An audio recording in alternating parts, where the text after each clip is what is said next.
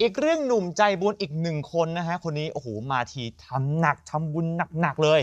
บุญหนักสักใหญ่ ใช่ คือจะบอกว่าไม่ได้ทำคนเดียวหรอก แต่ก็ทำกับแฟนคลับ แต่มันใหญ่จริง อืม ๆ น้องกราฟคณาวุฒิค่ะผู้ชมขาเป็นหนึ่งคนบันเทิง ที่คอยส่งกำลังใจให้ทีมบุคลากรเจ้าหน้าที่ทางการแพทย์ มาโดยตลอดนะทำมาเรื่อยๆ เลยสนับหนุ่มกราฟของเรา ครับ นักแสดงหนุ่มสุดฮอตค่ะ ช่วงนี้สถานการณ์โควิดอย่างที่ทราบกันกลับมาระบาดแบบรุนแรงด้วย ใช่โดยช่วงที่ผ่านมาหนุ่มกัฟเองก็ได้มีความมีโอกาสได้ช่วยเหลือ ทั้งบริจาคเงินส่วนตัว ให้กับโรงพยาบาลทั้งในและต่างต่างจังหวัดนะ ครับล่าสุดหนุ่มกัฟกับแฟนคลับก็นี่ค่ะเริ่เริ่มโครงการดีๆ โครงการนี้มีชื่อว่า โครงการกราฟชวนแฟนๆ แบ่งปันน้ำใจต้านภัยโควิด -19 เป็นโครงการที่กราฟตั้งใจชวนแฟนคลับมาร่วมทำบุญพร้อมกับตัวเขาเอง เงินบริจาคทั้งหมดนี่คุณผู้ชมท่วมท้นจริงๆ1ล้าน5แสนกว่าบาทครับเอาไปทำอะไรบ้าง เดี๋ยวผมจะเล่าให้ฟังคร่าวๆนะครับไปซื้ออุปกรณ์แล้วก็เครื่องมือทางการแพทย์อืมไม่ว่าจะเป็นอันนี้เครื่องนี้จำเป็นมากเลย อุปกรณ์เครื่องเออให้ออกซิเจนด้วยอัตราไหลสูง หรือว่าเครื่องออกซิเจนไฮฟลูหนึ่งเครื่องอืม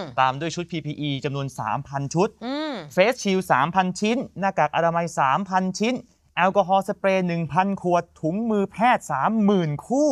แล้วก็มีเงินอีกจำนวนหนึ่งไปซื้อน้ำยา VTM ซึ่งเอาไปใช้รักษาผู้ป่วยโควิดที่มาใช้บริการด้วย ทั้งนี้ไม่พอผู้ชมค่ะในส่วนของการจัดซื้อนี่อุปกรณ์ทางที่ช่วยในเรื่องของการอ่าป้องกันโควิดนะครับแล้วก็ยังสมทบทุนให้กับโรงพยาบาลอีก 40 แห่งทั่วประเทศผู้ชมขาเยอะมากเยอะๆมากคำว่าทั่วประเทศคือทั่วประเทศจริง ๆ เพราะว่าเหนือก็มาอืมกลางก็มี ใต้ก็มาครับตะวันออกตะวันตกครบเลยอีสานทุกภาคด้วยทุกภาคนี่แหละเลยเขาทุกพี่ภาคจริงๆทั้งนี้ยังได้จัดอาหารกล่องจำนวน 2,000 ชุด เพื่อเป็นการขอบคุณให้กับทีมบุคลากรทางการแพทย์ ที่ปฏิบัติหน้าที่ด้วยความเสียสละอย่างหนัก ตั้งแต่วันที่ 15 พฤษภาที่ผ่านมาค่ะ จนถึงสิ้นเดือนพฤษภาคมเลย โดยได้ส่งไปให้กับโรงพยาบาลในกรุงเทพมหานคร ปริมณฑลและต่างจังหวัดทั่วภูมิภาคของประเทศไทย อู้ครับ สุดยอดเลยนะฮะทั้งน้องอืมกรอบเองทั้ง FC เลยนะ ดีขนาดนี้ต้องปรบมือให้ครับผม เย้